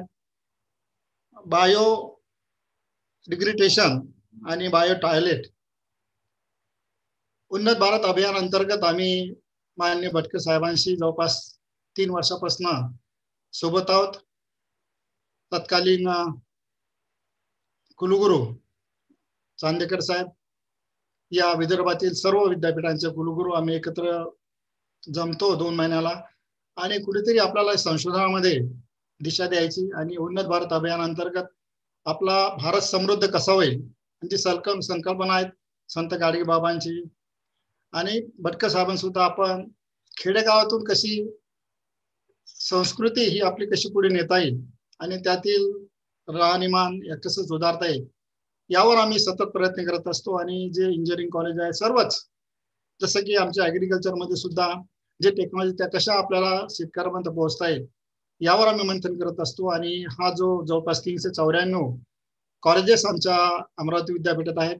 त्यांचे प्राध्यापक त्यांचा एवढा मोठा जवळपास अडीच ते तीन लाख विद्यार्थी म्हणजे आहे एवढी मोठी यंत्रणा वाघसाहेब आपल्याकडे टेक्निकली एवढी शक्ती आपल्याकडे आहेत पण कुठेतरी त्याचा उपयोग आपण करावा असा असा मानस नेहमीच असतो. आणि आपण सर्वांनी एकत्र केलं तर मला वाटतं ही क्रांती निश्चितपणे त्या ठिकाणी होईल. आज खरं तर आज छान असा ग्रीन बायो टॉयलेटचा हा उपक्रम या ठिकाणी घेतलेला आहे. त्यांचे जनक जे आहेत संजय जोशी आणि त्यांची टीम यांचं मी मनापासून अभिनंदन करतो. आणि सर्व घरामध्ये ग्रीन बायो टॉयलेट असणं आवश्यक आहे. किंबहुना ज्यावेळेस आपण खेड्यात जातो आपण म्हणजे आमच्या सुद्धा लहानपण खेड्यातला गेलेले पाणीतून जाताना आपल्याला नाक बंद करून जावं लागतं गावामध्ये. आणि एंट्री करत असतानाच आपलं स्वागत या टॉयलेटने बाहेरच्या टॉयलेटने होतं आणि अशा प्रकारे ती गंदगी पूर्ण घरामध्ये राहते. आणि आज घरात किती जर पाहिलं तर आज आपण म्हणतो एका बाजूना आपण सुसंस्कृत झालो पण दुसरी बाजू पाहिली खेडेगावामध्ये अजूनही राहणीमान आहे. ते राहणीमान अत्यंत दुरावस्थेमध्ये आहे. त्यातला त्या टॉयलेटचा प्रकार मॉर्निंग वॉकला सकाळी लोक जातात बऱ्याचशा गोष्टी म्हणजे जसं सुरुवातीला कोणी म्हणलं की मोबाईल प्रत्येकाकडे आहेत सिक्स्टी पर्सेंट परंतु टॉयलेट म्हटलं थर्टी फाय फोर्टी पर्सेंट लोकांकडे आहेत. आणि म्हणून ग्रीन हा जो आजचा संकल्पना आपण घेतलेली आहे ग्रीन बाय टॉयलेटचे खरं तर स्तुत आहेत परंतु याचं कन्व्हर्जन करणं आवश्यक आहे. आणि या ठिकाणी आज इंजिनिअरिंग कॉलेज किती विद्यार्थी आहेत? जवळपास फोर्टी नाईन पार्टिसिपंट या ठिकाणी दिसतात. खरं तर मोठ्या प्रमाणामध्ये रिस्पॉन्स या ठिकाणी यायला पाहिजे होता. संचालक तंत्र शिक्षण या ठिकाणी आहेत कुलगुरू त्या ठिकाणी आहेत आणि इंजिनिअरिंग कॉलेजच्या विद्यार्थ्यांना कुठेतरी गॅप पडला दिसतो असा. आणि मोठ्या प्रमाणामध्ये उपस्थिती या कार्यक्रमाला राहील आणि त्यामध्ये भाग घेतील. याचा प्रपंड करा भारसाकडे साहेब कारण जोपर्यंत विद्यार्थ्याला कळत नाहीत तोपर्यंत भाग घेणार नाहीत. आणि ही नुसती स्पर्धा न राहते यातून आपल्याला आउटपुट मिळणं अत्यंत आवश्यक आहे. यासोबतच जसं भटकर साहेबांची नेहमी इच्छा असते की बा माझी माझा खेडेगाव सुसंस्कृत व्हावं राहणीमान सुधरावं आणि त्या संदर्भातून आपण बरेचसे प्रयत्न करत असतो. परंतु आज जसं विजे वीज आहे पाणी आहे हे मुबलक अजूनही मिळत नाहीत. आज पस्तीस ते चाळीस टक्के खेडेगावामध्ये पाण्याची उपलब्धता नाही. वीज मिळत नाहीत शेतकऱ्यांना आपण एका साईडनं म्हणतो की पासष्ट टक्के आपलं कृषी प्रधान देश आहेत. पासष्ट टक्के जनता डायरेक्टली इनडायरेक्टली शेतीवर अवलंबून आहेत. पण त्या शेतकऱ्याला वीज उपलब्ध होती का? नाही होत. कुठेतरी रात्री एक दीड वाजता लाईन येते मग त्याला रात्रीचं जावं लागतं. पाणी करण्याकरता मोटर सुरू करावं लागतं. अत्यंत कठीण परिस्थितीमध्ये माझा शेतकरी बांधव जात असोत आणि आपण एवढी मोठी यंत्रणा जा जसं वाघ साहेबांनी सांगितलं की किती मोठे आपल्या महाराष्ट्रामध्ये जर कॉलेज काढले इंजिनिअरिंग कॉलेज एवढे मोठे कॉलेज आहेत पण कुठेतरी आपल्याला ते तंत्रज्ञान त्या ठिकाणी विकसित होणं आवश्यक आहे. मला तर वाटतं की जर अभय वाघ साहेब या ठिकाणी उपस्थित असतील तर मी त्यांना विनंती करेल की अभय वाघ साहेब आधी आमच्या टीचरला तुम्ही आक्रमण करा. टीचरला आधी एज्युकेट करा नंतर विद्यार्थी होते जसं आपण म्हणतो की चार तीन साडेचार वर्षाचा पूर्वीचा जो डिप्लोमा कोर्स होता इंजिनिअरिंगमध्ये परफेक्टली त्या ठिकाणी ते बाहेर झाल्यानंतर ते स्वतःच रोजगार त्यांना मिळायचा पॉलिटेक्निकच्या माध्यमातून. परंतु आज इंजिनिअरिंग कॉलेजमध्ये मात्र प्रॅक्टिकली आपण फार कमी पडतोय. किती इंजिनिअरिंग कॉलेजमध्ये प्रॅक्टिकल चालतंय याचा सुद्धा आपण अभ्यास करणं आवश्यक आहे आणि नसेल चालत तर त्या ठिकाणी प्रॅक्टिकली कंपल्सरी आपण करावं लागेल. आपण तुम्ही आणि मीच रिस्पॉन्सिबल आहे त्या ठिकाणी एज्युकेशनमध्ये इन्स्टिट्यूशनमध्ये. आपल्याला ही टेक्निकल आपण नुसतं बोलून जाणार नाही. त्या ठिकाणी आत्मसात आणावं लागेल आणि त्या बेसवर आपलं मार्किंग आपल्या पासून ठेवावं लागेल ठेवावं लागेल. आणि कुठेतरी यंत्रणा कुठेतरी आपल्याला टाईट बाउंडमध्ये ठेवावं लागेल. आज आपण म्हणतो की विद्यार्थ्याला स्कॉलरशिप देतो. मग त्या विद्यार्थ्याकडून आउटपुट आपल्याला किती मिळतंय याचा सुद्धा अभ्यास करणं आवश्यक आहे. किंवा कॉम्पिटेटिव्ह कॉम्पिटेटिव्हमध्ये जायचं मिडिल स्कॉलरशिप आपल्याला त्या मेडिकल कॉलेजमध्ये जसं आहे तसं इंजिनिअरिंग कॉलेजमध्ये आणि इतर कॉलेजमध्ये सुद्धा सायन्समध्ये आणणं आवश्यक आहे. आपण बघतो टेक्नॉलॉजी जे आहे ती सर्व आपण इम्पोर्ट केली आज हे जे आपण माध्यम वापरतोय झूम माध्यम हे सुद्धा बाहेरचे इम्पोर्ट केलेलं आपण. माझे एवढे इंजिनचे विद्यार्थी साधं साधं माध्यम आपल्याला करता येत का आपण म्हणतो आय टी मध्ये खूप क्रांती केली. आपले आपले जे विद्यार्थी आय टीचे बाहेरच्या कंपन्यांमध्ये काम करतात. मग हे साधी टेक्निक सुद्धा आपल्याला आणता येत नाहीत. का? आज झूमचं खरं तर इतकं सोपं आहे. आपल्याकडे बरेचसेच बरेचसे इतर सुद्धा माध्यम आहेत. कन्व्हर्जेशनचे पण तेवढे इफेक्टिव्ह होत नाही. तेवढे सहजगत्या उपलब्ध होती. परंतु झूम मात्र उपलब्ध होते. जे झूम आपल्याला चायनाकडनं आपल्याला हायर करावं लागतं. मग माझे इंजिनिअरिंगचे विद्यार्थी माझे इंजिनिअरिंगचे स्टाफ मेंबर का बरे अशा गोष्टी समोर आणू शकत नाहीत? जसं मोबाईलचं आपण म्हणतोय. मोबाईलचा आज पाच हजारापासून तर आज दीड लाखापर्यंत मोबाईल आहे. पूर्ण टेक्निक बाहेरून आपण इम्पोर्ट करतोय. मग माझा विद्यार्थी माझा टेक्निकली विद्यार्थी आहे जो इंजिनिअरिंग कॉलेजमध्ये आपण ही टेक्नॉलॉजी आपण का करू शकत नाही स्वतः सध्या आपल्या दररोजच्या जीवनामध्ये आपण जर बघितलं आता जे आपले हिंदूचे जे आपले सणवार येतात दिवाळीचे लाईटिंग म्हणलं तर दिवाळीची लाइट सुद्धा चायनामध्ये येते.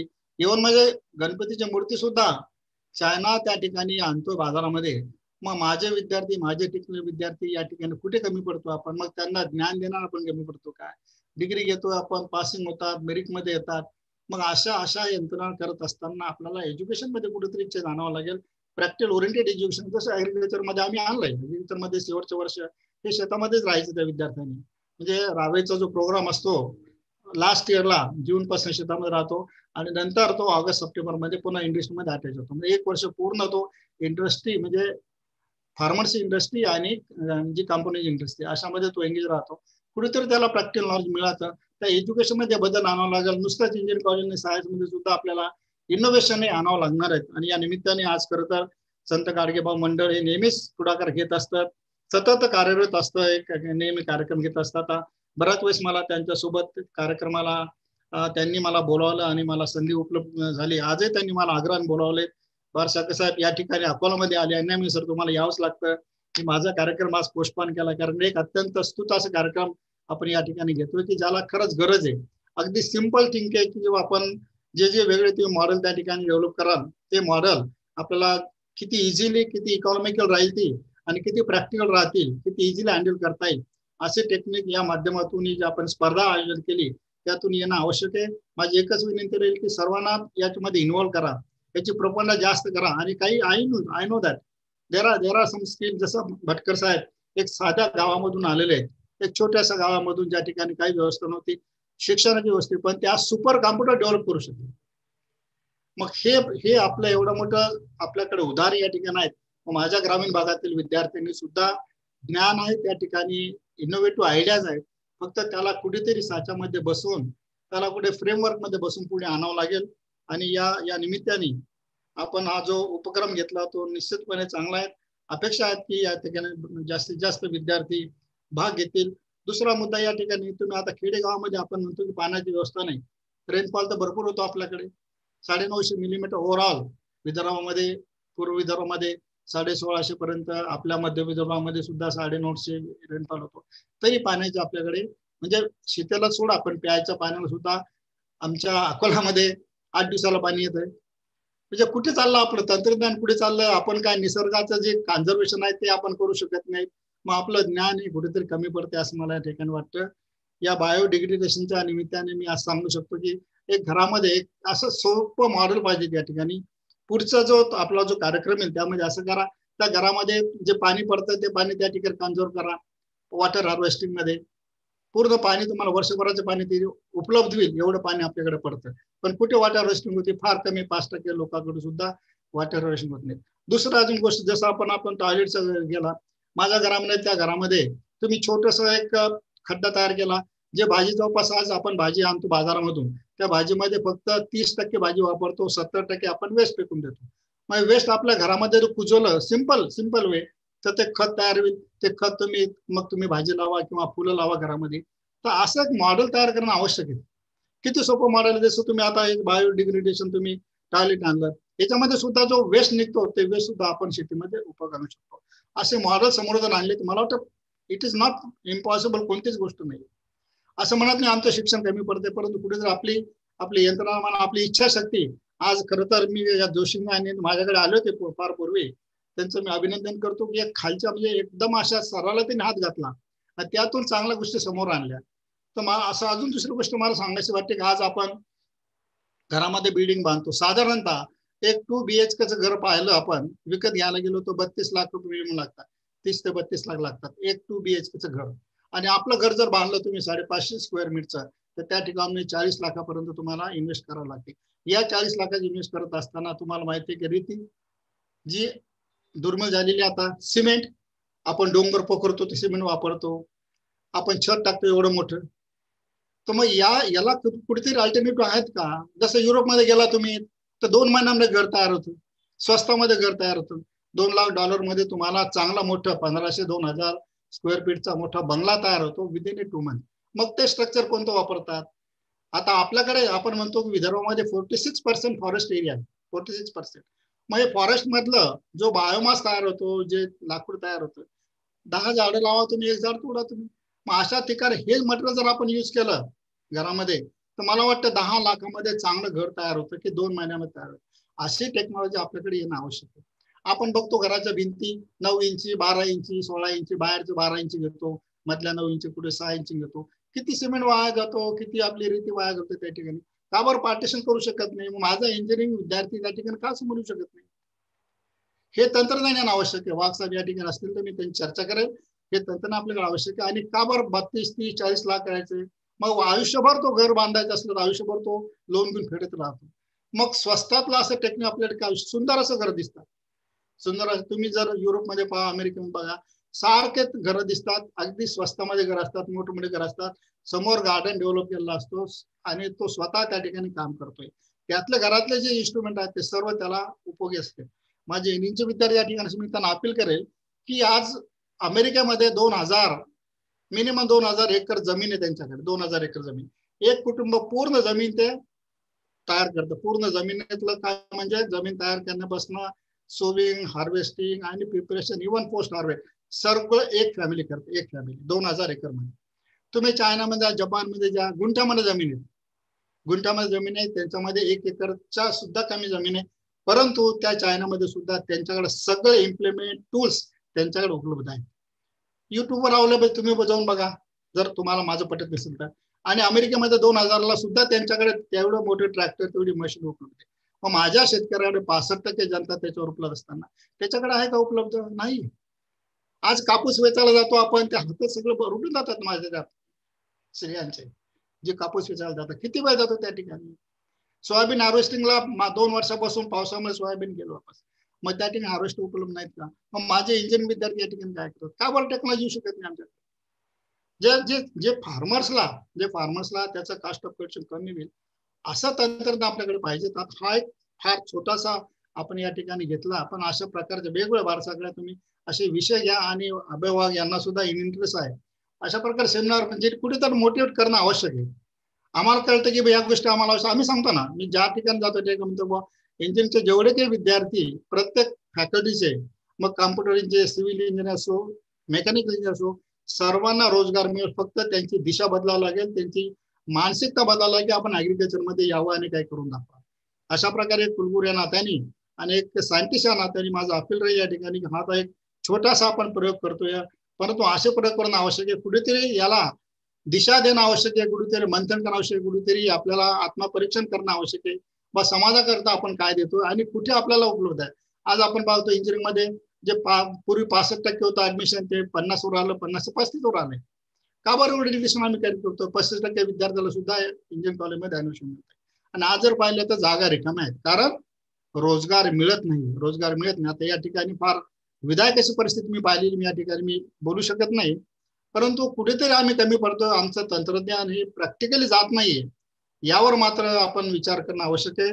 आता खर तर हे प्लॅटफॉर्म बोलायचं नव्हतं परंतु आज इंजिनिअरिंग काही पाच दहा टक्के विद्यार्थी असतील आणि आपण आयोजक या ठिकाणात आपण सुद्धा सर्व सुज्ञ असे प्राध्यापक मंडळी आहात आमच्या अभिभावक संचालक आहात तंत्रशिक्षणाचे कुठेतरी या याच्यामध्ये बदल करणं आवश्यक आहे प्रॅक्टिकल ओरिएंटेड किंवा तुझी डिग्री तू एक इनोव्हेशन कर तरच तुला डिग्री मिळेल.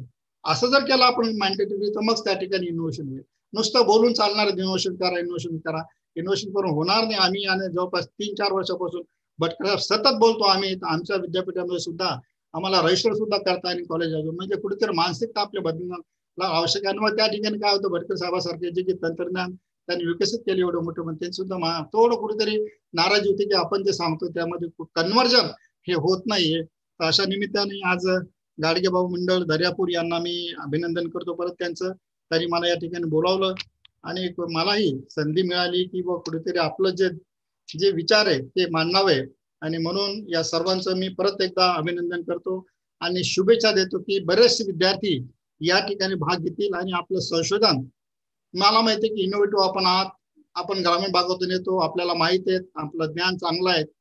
पण त्याला कुठेतरी प्लॅटफॉर्म मिळावा आणि आपलं जे विद्या आपली जी विचारशक्ती ते कुठेतरी या प्लॅटफॉर्म मधून समोर यावी असे या ठिकाणी मी इच्छा व्यक्त करतो आणि सर्वांना शुभेच्छा देतो. की त्यात सर्व विद्यार्थ्यांनी मॅक्झिमम विद्यार्थी भाग घ्यावा.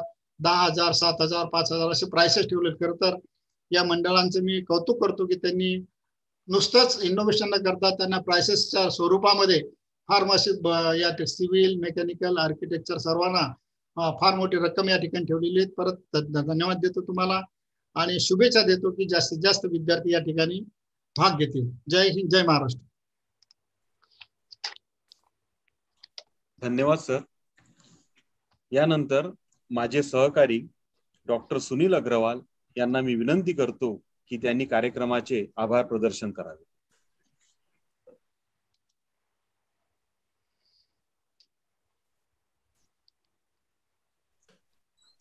धन्यवाद sir.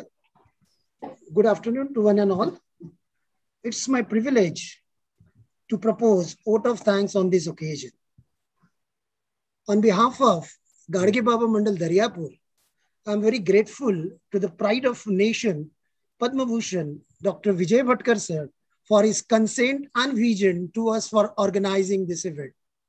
Sir, your vision to connect the rural region and the farmers by innovative technologies will definitely help the people of this region as well as the people of nation for their upliftment. My sincere thanks to you for sparing your valuable time, sir. Your inspiring speech has motivated us to organize such events in the future. Thank you, sirs. Thank you for being with us today. I would like to extend a very hearty thanks to the president of the function, Honorable uh, Dr. Vilas Bhale, sir, the Vice Chancellor of Dr. Punjab Rao Krishi Vidyapita Kola and Sant Gadge Baba Amravati University Amravati for gracing the occasion. Sir, your valuable words have surely motivated our students, not only our students, but also us for innovative approaches. Thank you, sir. Thank you so much. Also, I would like to express our sincere thanks to the chief guest of the function, Dr. Abhay Wag, sir, Director of DT Maharashtra State, Mumbai, for sparing time for this occasion. Sir, your presence has made this event a special and also your inspirational speech will help us to march on the path of innovative thinking, sir. Thank you, sir. Thank you so much. We would like, uh, we would also like to acknowledge our gratitude to Dr. Hemant Deshmukh, sir, Controller of Examination, Santa Gadge Baba Amravati University, Amravati, for uh, briefing about the event as well as uh, putting his views in front of us. Thank you, sir. We are also grateful to our beloved Honorable Shri Hemanji Kadmek, sir, Executive Member, Shri Shivaji Education Society, Amravati, for your continuous support and encouragements, which has helped us a lot to make this event a grand success. I would like to extend my hearty thanks to Sri Ravindra Ganorkar and Sri Sanjay Joshi, the proprietor of Srinath Industries Daryapur, for their presence. Sir, your innovative design of a green biotoilet will be an important and significant step in the field of uh, sanitation. I would like to thank Honorable Dr. R.P. Mogre, sir, the Joint Director of DT Amravati, for his cooperation. I would also like to extend a special thanks to Honorable uh, Dr. S.K. Deshmukh, sir, Principal College of Engineering and Technology, Akola, for your kind support to make this event success. I must mention our deep sense of appreciation to Professor Gajanan Bharsakre, President of Gadge Baba Mandal Daryapur, and Professor Mandar Deshmukh, coordinator of this event, for their initiation and dedication to organize such kind of events. Also special thanks to Dr. Gopal Jamre sir for the smooth conduction of this function. I'd like to extend hearty thanks to all the respected principal, head of the departments, faculties, and of course, the students for their presence on this occasion. Thank you, sir. Thank you so much. मी गाडगेबाबा मंडळाद्वारे आज आयोजित कार्यक्रमात सर्व मान्यवरांचे परत एकदा आभार मानून हा कार्यक्रम संपला असं जाहीर करतो. नमस्कार.